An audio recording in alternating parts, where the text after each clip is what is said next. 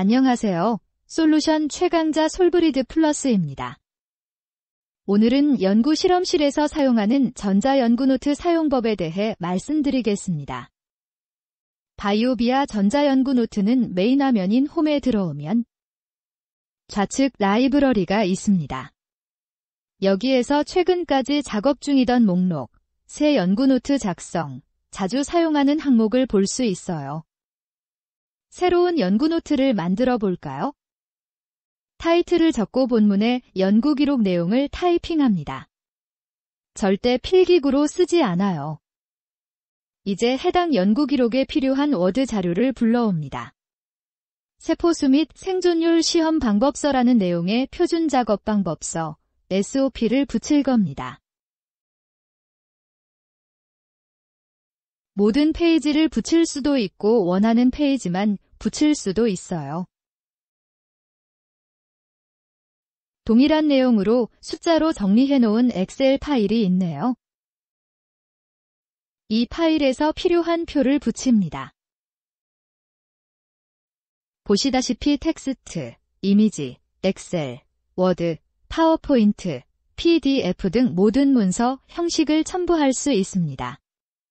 cell count 이미지까지 첨부하면 해당 연구 노트의 내용이 보완되겠죠.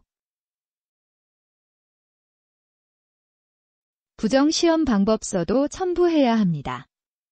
리스트에서 찾아서 이번에도 필요한 페이지만 찾아봅니다.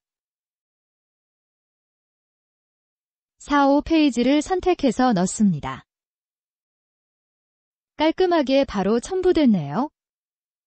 이제 좌측의 PDF document를 눌러서 연구 노트에 첨부할 거예요. 여기서도 동일하게 필요한 페이지 하나를 선택합니다. 이렇게 바로 붙어서 연구 노트에서 필요한 정보들을 통합 정리할 수 있게 됐네요. 위로 쭉 올라가서 하나씩 살펴보다가 수정할 부분이 생겼네요. 역가 시험 방법서에서 수정 버튼을 누릅니다. 아, 빨간 글씨를 수정해야겠어요.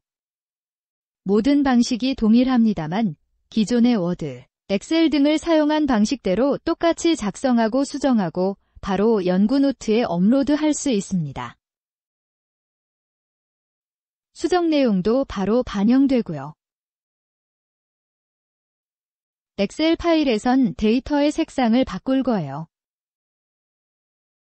빨간색일 필요 없는 수치를 다시 검정색으로 바꾸고 필요한 페이지만 반영하니 바뀌었네요. 정리한 내용들을 보다 보니 자료의 위치를 바꿔야겠어요. 클릭 한 번에 원하는 위치로 바꿀 수 있죠. 이렇게 간편하게 데이터를 수정해도 모든 기록이 지금 연구 노트 내에 남아 있습니다. 이 연구 노트를 PDF로 보고 싶다고요? 당연히 가능합니다. PDF로 변환해서 저장하거나 출력해서 필요에 따라 사용하시면 되죠. text field에 이처럼 기재해 놓을 수 있습니다. 해당 연구 노트를 동일하게 복사하고 audit trail로 가봅니다. 우리가 편의성을 위해 전자연구 노트로 작성하기도 하지만 이렇게 감사에 즉각 대응할 수 있도록 모든 데이터가 정리되어 있다면 업무 효율성이 높아지겠죠?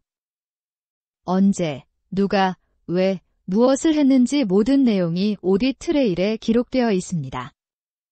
아까 SOP 워드 파일을 업로드하거나 수정한 기록들도 모두 남아 있어요. BIOVIA 전자연구 노트는 timestamp로 시간 인증이 가능하고 다양한 형식의 파일을 불러와 간편하게 작성할 수 있습니다. 연구실의 디지털화는 솔브리드 플러스와 함께 하세요.